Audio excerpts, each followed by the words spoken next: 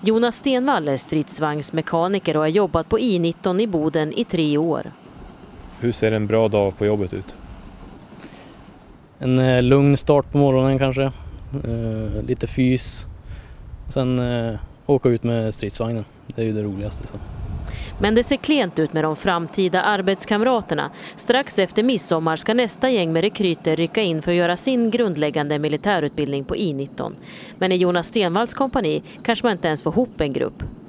Ja, vi hade 50 soldater beställda för inrycket nu om några veckor och eh, av dem så är det just nu bara 10-15 procent som är inskrivna så att eh, vi kommer att behöva hantera den situationen på något sätt. Då. Vi eh, finns på sociala medier, vi besöker skolor, vi har även ringt runt. Trots stora reklamkampanjer stannade färre kvar och tog anställning 2015 jämfört med året innan.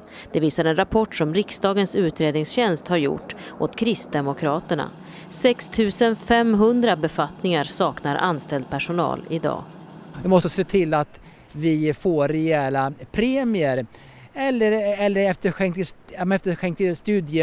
studieskulder eller hitta sätt där man belönar soldater som stannar de tre eller sex eller åtta åren.